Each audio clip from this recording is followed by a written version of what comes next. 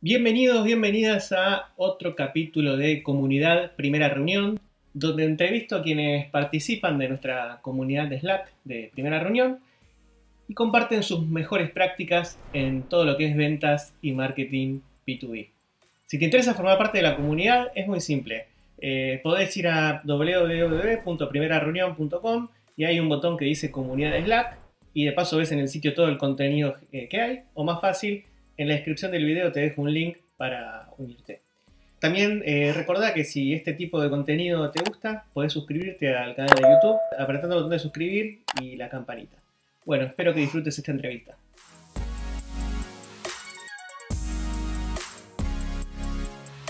Bueno, bienvenidos, bienvenidas todos. Nueva edición de Comunidad Primera Reunión. Algunos estaban pidiendo ya eh, los nuevos capítulos para, esta sección. Así que acá estamos en, podríamos decir, en la temporada segundo trimestre 2022. Em, así que bueno, hoy tengo el gusto de estar que del otro lado, del otro lado del río, vamos a decir, porque está en Uruguay, eh, está Marcelo Ascárate. Marcelo, bueno, es, em, founder este, de... Uy, acá se me vino un, lapsus, era... ¿Cómo era? Perdón. Soy el, CEO y el gerente general de Byrix. Byrix, Byrix, que bueno, ahora nos, van a contar bien qué hace. Así que bueno, perdona acá que tuve el, lapsus. Eh, vamos, eh, Marcelo, ¿estás listo para nuestra primera reunión? Perfecto, dale. Bueno, vamos. Marcelo, primera pregunta para conocer un poquito a Byrix. ¿Qué es lo que hacen, qué problemas resuelven y para quién? Dale. Nosotros en realidad, Andrés, Byrix es una empresa que, tiene 12 años. Este, yo en realidad entré a la empresa el año pasado. Cuando entré a la empresa éramos 12 personas.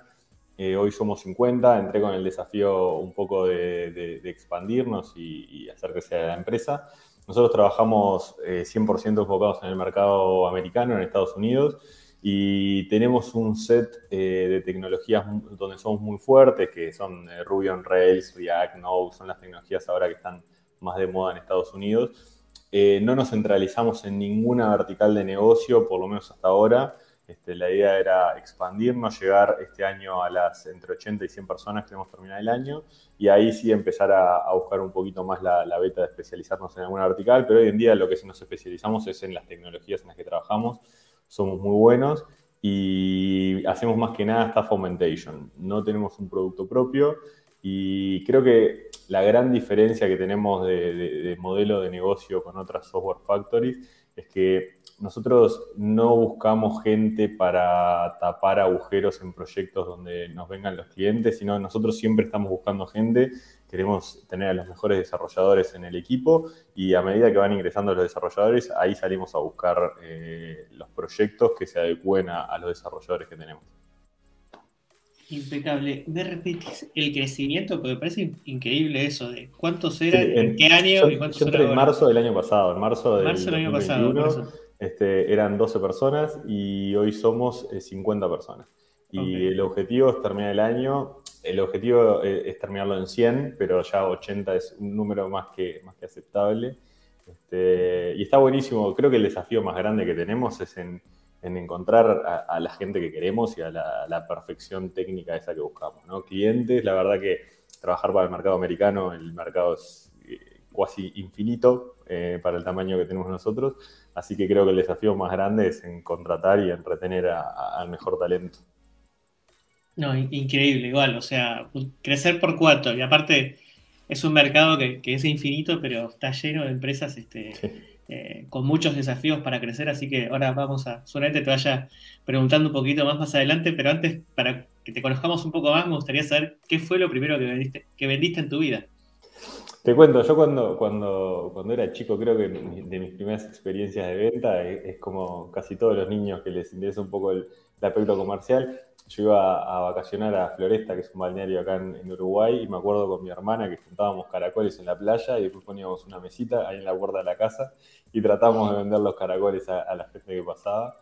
Este, creo que esa fue de, de mis primeras experiencias. Yo después estudié ingeniería y después hice un MBA pero ya cuando terminé la carrera de ingeniería nunca me dediqué a la parte técnica 100%, ¿no? Siempre arranqué por roles de preventa, después me fui 100% eh, al mundo comercial. Increíble. Che, bueno, em, para ir profundizando un poco en, cómo fue este crecimiento, la primera pregunta que te hago es cómo está conformado hoy el equipo, sobre todo lo que es la parte comercial eh, de, de Byrex. Te cuento. Nosotros en, en tenemos eh, un área de operaciones, un área de talento y un área comercial. El equipo comercial cuando entré yo había ya una persona que estaba trabajando hace 4 o 5 años que era eh, multitasking, es un crack Santi, este, hacía de todo un poco. Eh, es más, entró en la empresa Santi como profesor de inglés este, para empezar a capacitar a, la gente en inglés. Y claro, ahí empezó a tener un rol más de contacto con los clientes, le empezó a gustar y fue creciendo en ese rubro. Entonces cuando entré éramos eh, Santi y yo, espalda con espalda ahí en el equipo comercial, y después estaba Gastón también, que es el, fundador de la empresa. Este, y después eh, hicimos una consultoría con una consultora que, que estuvo muy buena y armamos un proceso comercial y definimos que teníamos que tener un equipo comercial que se dividiera en dos. Eh, uno iba a tomar una parte del proceso comercial y otra la, siguiente parte. Entonces tenemos eh, el equipo comercial hoy, eh, yo soy la cabeza y hay dos BDM, le llamamos, que son los vendedores que toman los prospectos y los avanzan hasta el cierre, y dos BDRs que lo que hacen es la etapa de prospección que hoy en día lo que hacen es investigar empresas que trabajen con nuestra tecnología, que hayan levantado founding, este, y que sean como nuestro cliente ideal y armar fichas de esos clientes para que los BDMs tengan toda la información necesaria para hacer un primer contacto eh, efectivo. Perfecto. O sea, el, el BDR ahí consigue la información pero no llega a ser el primer contacto, o sí lo hace. O no lo hace, no, no lo hace. Ah, consigue toda la ah, información, arma la ficha, eh, consigue información que está muy buena y relevante, como, que le hace un clic al cliente. Por ejemplo, vi que el año anterior creciste en dos personas y este año en cuatro. ¿Qué pasó? ¿Estás creciendo mucho? ¿Necesitas ayuda? Todo ese tipo de información que cuando el BDM toma esa información y hace el primer contacto en frío, al cliente le llama la atención. Dice, pa, ¿y esto cómo sabes? ¿Viste? Entonces también eso genera un poco esa discusión que, está buena para, romper un poco el hielo y la verdad que nos viene funcionando súper bien. Está buenísimo. No, y ahí un poco, si bien me decías no nos especializamos en, ningún vertical, sí tenés como claro ahí un nicho que es, me dijiste, empresas que hacen recibido funding y que laburan en estas tecnologías. Sí, y, también el tamaño, ¿no? Nosotros somos una, más allá de que, hemos crecido bastante, eh, nos consideramos una boutique de desarrollo de software, entonces eh, nuestro cliente ideal es un cliente donde donde podemos eh, trabajar con un equipo de entre 3 y 5 personas, no queremos dejar a ningún desarrollador solo, pero tampoco, si viene un cliente que me dice preciso 50 personas, no lo voy a poder atender. Entonces, como que nos enfocamos en clientes de determinado tamaño, con determinado conocimiento, que están empezando a crecer, pero tampoco son, es un cliente de 5.000 personas, porque tampoco lo vamos a poder abastecer. Entonces, es como que estamos ahí en el medio. Y, también tiene que trabajar con nuestras tecnologías, ¿no? Eh, eh, nosotros no solo elegimos eh, al cliente, sino el desarrollador lo tiene que elegir. O sea, nosotros, eh, cuando se hace una entrevista que el cliente eh, entrevista a nuestro desarrollador, es para los dos lados. O sea, si a nuestro desarrollador no le gusta el proyecto, no cerramos el, cliente y, vamos a buscar otro. Es muy importante eso por lo que te decía. Hoy me es mucho más difícil contratar y retener a la gente que, que, conseguir proyectos. Entonces, que el desarrollador esté cómodo y contento con el proyecto que está trabajando es básico. Tremendo. Y eso de que ven que, que tenga estas tecnologías, eh, ¿usan alguna herramienta? ¿O cómo, es del lado de ustedes el research? Yo que soy totalmente ignorante en, ya en tanto, tanto detalle de tecnología, ¿cómo, cómo, se enteran de eso? ¿Leen? Hay varias herramientas, ¿no? Hay varias herramientas, hay pagas, hay gratis. Eh, los nombres de memoria no los tengo, pero sé que hay una que, es Crunchbase y está, se usa mucho LinkedIn también este, para ver la evolución de las empresas y el crecimiento de los empleados.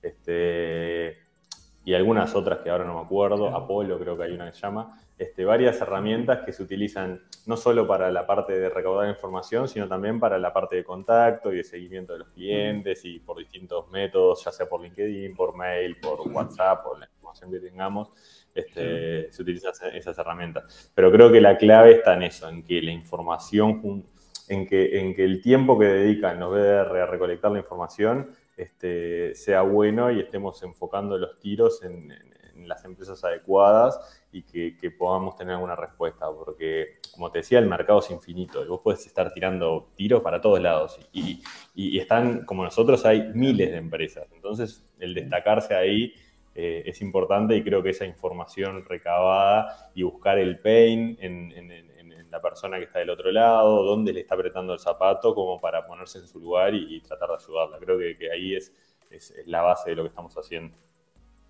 Muy bueno, y eso con los BDRs, o sea, un poco lo, que entiendo es que, bueno, la clave del proceso, obviamente después tienen los, buenos vendedores ahí, pero digo, hay una parte muy importante que, que, tiene que ver con esto de la prospección que hacen los BDRs eh, ¿Qué volumen trabajan? Porque, digamos, se necesita tiempo para, hacer eso.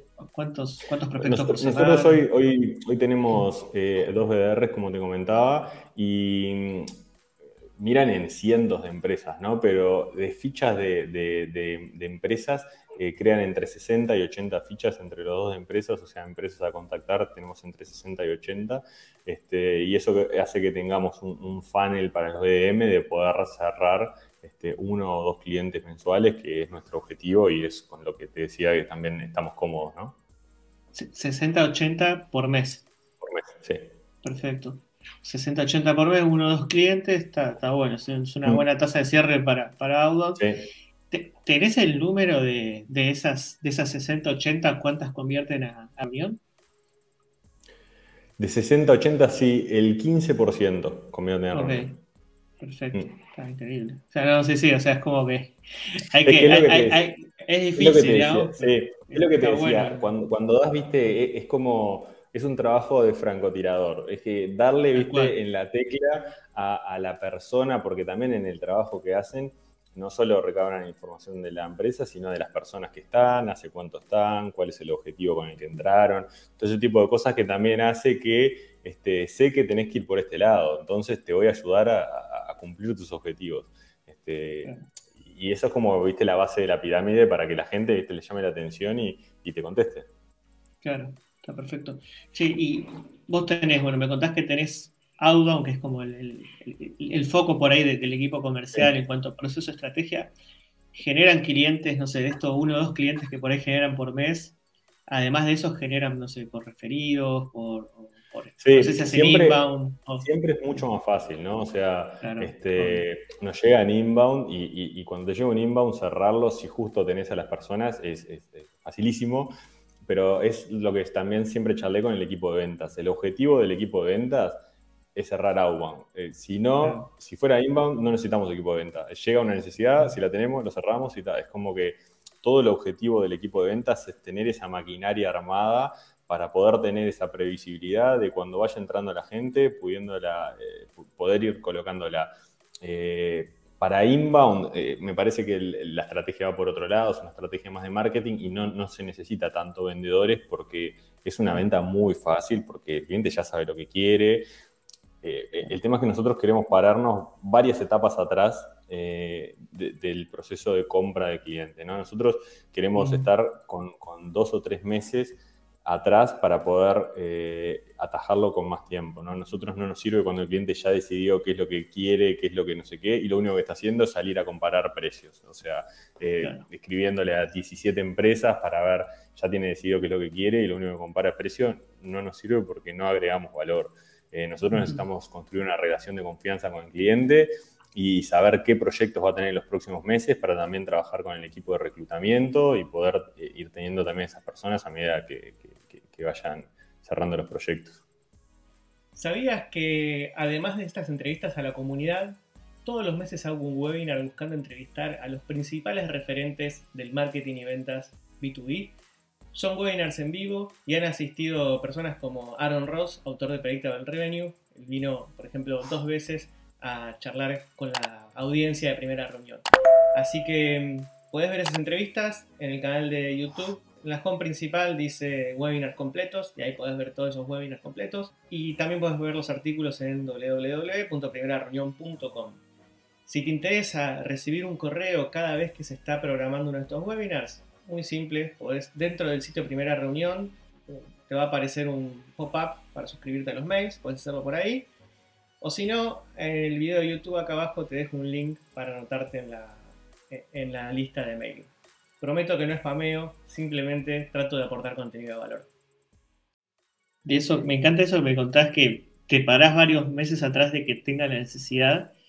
Eh, primero te pregunto, ¿cuánto es el ciclo de venta desde que tenés la primera reunión hasta el cierre promedio, no? Bueno, eso, depende pila de, cómo llegue, ¿no? Es lo que te decía. Si es inbound, dos semanas, o sea, es eh, nada.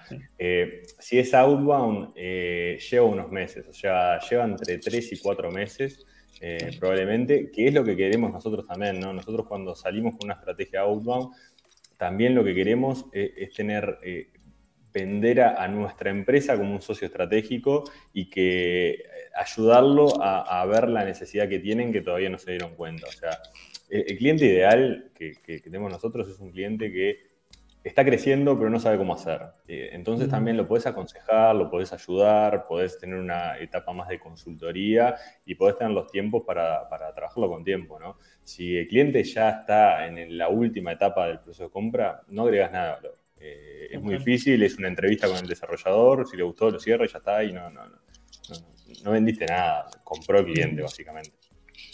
Y contame mucho de esas primeras charlas con estos clientes que los tratás de agarrar antes, ¿qué, qué, qué, conocimientos o qué tratás de educar o qué mitos tratás de derrumbar o no sé si me decís, che, o le trato de citar los criterios de compra, ¿cuál crees que pueden ser esas claves de esas primeras reuniones? Yo creo que la clave para poder entrar a una primera reunión es encontrar dónde le aprieta el zapato, el pain, como se llaman en los procesos de venta, de, no solo de la empresa, sino de la persona, que es mucho más importante, ¿no? O sea, ¿dónde le aprieta el zapato a esa persona? ¿Cómo lo miden? Eh, ¿Qué necesita para, poder tener ese ascenso que quiere tener, para poder cumplir sus objetivos? Y ahí te va a dar entrada. Después de que te da la entrada, me parece que es un tema de confianza.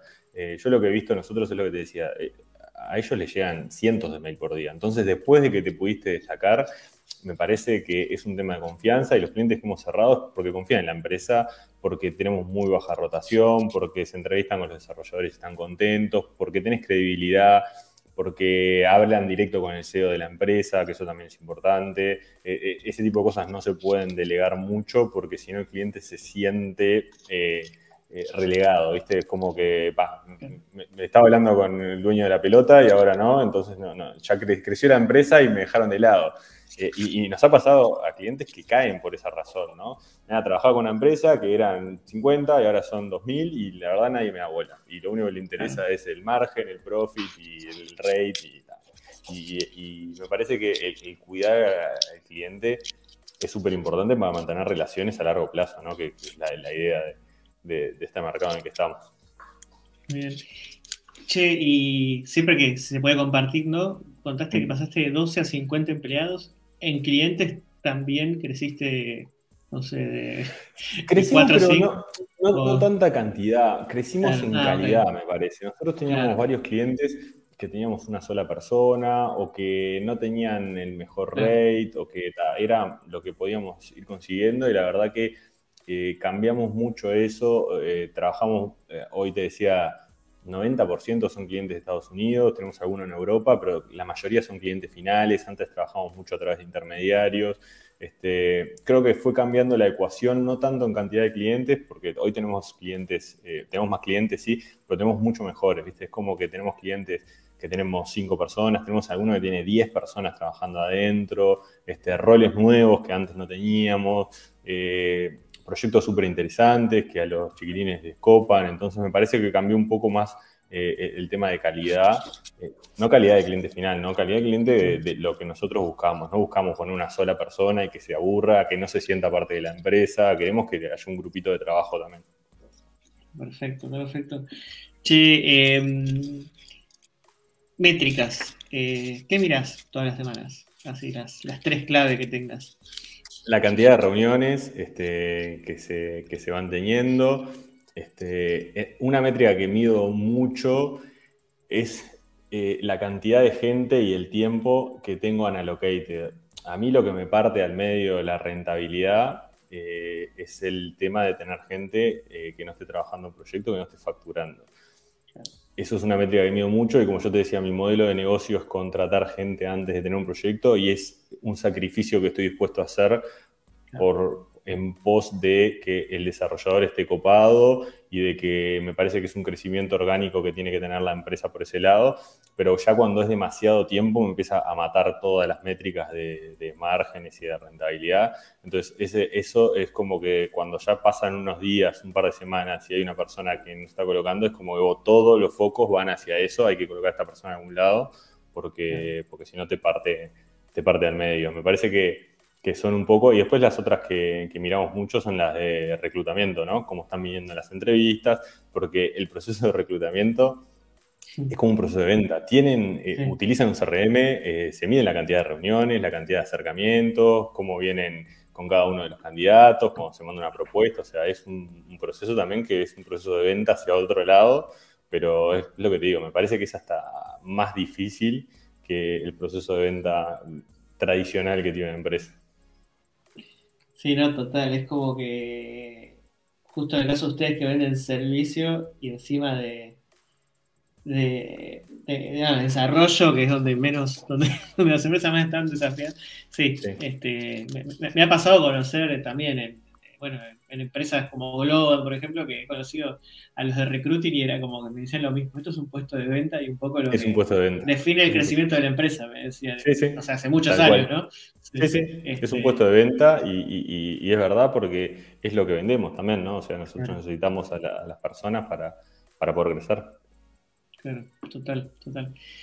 Che, em, dos más para ir cerrando. La primera es libros. ¿Hay algún libro o podcast que recomiendes quizás con foco en ventas, liderazgo, no sé, o lo, que te sirva más a vos como. Hay uno que estoy leyendo ahora que es, eh, no me acuerdo el título tal cual, pero creo que se llama El Club de las 5 de la mañana, que, está muy interesante. Lo estoy recién arrancando a leer, pero, pero es un poco cómo cambiar la, la, metodología de vida de uno para aprovechar más, más la vida. La verdad que es, es algo que me, que me que me está gustando, por lo menos hasta ahora, hasta donde lo estoy leyendo, está, está bueno cómo aprovechar más el día, ¿no? El título lo dice todo, pero, pero tiene, tiene otro contenido también. ¿Te estás levantando a las 5 de la mañana? O no, no, pero estoy levantándome antes que, ande, que, ah, antes, ¿no? O sea, antes me levantaba a las 8 de la mañana, ahora me estoy levantando a las 7, estoy tratando de ir un poquito más temprano, arrancar el club a las 7, 6, como de a poquito. Viste que de una todo, en el invierno aparte. Claro, no. Aparte de la diferencia horaria, porque lo escribió está en Estados Unidos y son Estás a las 5 de Estados Unidos del que lo escribió por ahora. che, bueno, em, tengo dos más para ir cerrando que en realidad están como medio. O sea, yo la, que hago siempre es algo que sepas ahora que te hubiese gustado saber cuando arrancaste. Pero te la voy, te voy a sumar una más que si las quieres combinar perfecto, es algo que también le recomiendes a quienes están eh, haciendo, vender este tipo de servicios a Estados Unidos que son muchos, créeme que son muchos y tienen bastantes desafíos y creo que lo que están haciendo ustedes está bastante bueno. Em, algo que me hubiera gustado saber eh, también, no, es con respecto al proceso de venta ni nada, es que, está bien equivocarse. Mira que cuando, cuando sos más grande, eh, estás más acostumbrado y, y, te tomas las cosas más light, pero yo me acuerdo cuando era más chico que era todo un mundo, ¿no? Cada cosa era como, no, esto va a ser la reunión, esta es mi vida. Y hay que tomárselo más, más, eh, más un poco con soda, la vida. Este, todo el mundo se equivoca y todo el mundo hace las cosas mal a veces, así que hay que tirarse al agua y hacer un poco lo que le gusta a cada uno.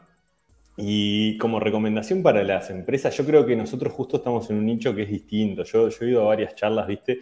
Y, se trabaja mucho en la venta de productos que, claro, es mucho más masivo y, no tenés la limitante de la cantidad de gente, ¿no? Nosotros estamos en un rubro que, lo que vendemos es personas, más, allá que suene, suene medio raro, y, también son de alto valor agregado. Entonces es un nicho muy particular que vale la pena invertir mucho en dónde gastar las balas, porque cada cliente que cerrás eh, te, banca todo el proceso comercial que tuviste atrás. Entonces es muy importante este, poner las balas y dedicarle tiempo a ver quién es el cliente ideal, eh, y trabajar en tratar de atraer a ese cliente ideal, tener un proceso comercial armado, respetarlo, medir las métricas. Este, yo cuando, cuando recién arrancamos a medir las métricas también me pasó, no teníamos métricas anteriores, ¿viste? Entonces era como, ¿este número está bien o no está bien? Y yo lo que le comentaba a los chicos es, no importa si está bien o no está bien, yo lo que quiero es tener el histórico, o sea, hoy no sabemos si está bien, pero lo podemos medir a lo largo del tiempo y, y la idea es ver cómo va variando y, probar distintas cosas, probar un mail con un tipo de tono, otro mail con otro tipo de tono y ver a ver cómo, cómo va picando la gente. Pero creo que, el mensaje es tirarse al agua, ¿no? O sea, nadie la tiene clara, porque si alguien tuviera clara cómo en Estados Unidos sería millonario, y todas las empresas se desviven por tratar de, entrar en Estados Unidos y de poder vender allá. Y creo que también es algo como medio, medio vivo y medio dinámico porque no hay una receta. O sea, la receta de hoy, eh, mañana todas las empresas hacen lo mismo y ya se saturan y hay que irla cambiando y hay que irla modificando. Claro. No, sí, sí. Me, me, lo que, lo que contaste de métricas, sobre todo de verlas como una evolución, ¿no? Muchas veces como que también a veces se entra en pánico porque ven números que tengo que estar acá lo importante es esto, como que el equipo juegue bien, cada semana juegue mejor, ¿no? Exactamente, porque aparte todas las empresas son distintas y todos venden cosas distintas y, lo que, una métrica que puede ser muy buena para mí, capaz que para vos es malísima, entonces tampoco tiene mucho sentido. Está bueno compararse con uno mismo y, tratar de ir creciendo todo el tiempo y no, con los demás. Perfecto. Bueno, eh, muchas gracias eh, Marcelo. Eh, bueno, ya, ya, lo conocieron, Marcelo Ascárate, SEO, Byrix, están creciendo 4X, crecieron del año anterior a este. Marcelo, gracias por esta primera reunión. Por favor, muchísimas gracias Andrés. Un gusto y saludos para todos. Bueno, esta fue la entrevista de comunidad primera reunión. Espero que la hayas disfrutado. Yo disfruto todas estas entrevistas. Así que si te interesa formar parte de la comunidad primera reunión, acordate www.primerareunión.com y ahí donde dice comunidad Slack te anotas o acá en los comentarios más fácil está el link y llevas directo para, Slack. Si te interesa que te entreviste, es muy simple también. Hay un formulario acá abajo, lo completas y voy a intentar contactarte lo más pronto posible, siempre en la lista de espera. Así que bueno, espero verte en el próximo capítulo. No te olvides de suscribirte al canal de YouTube para que te llegue una notificación cuando esté el próximo capítulo. Thank you.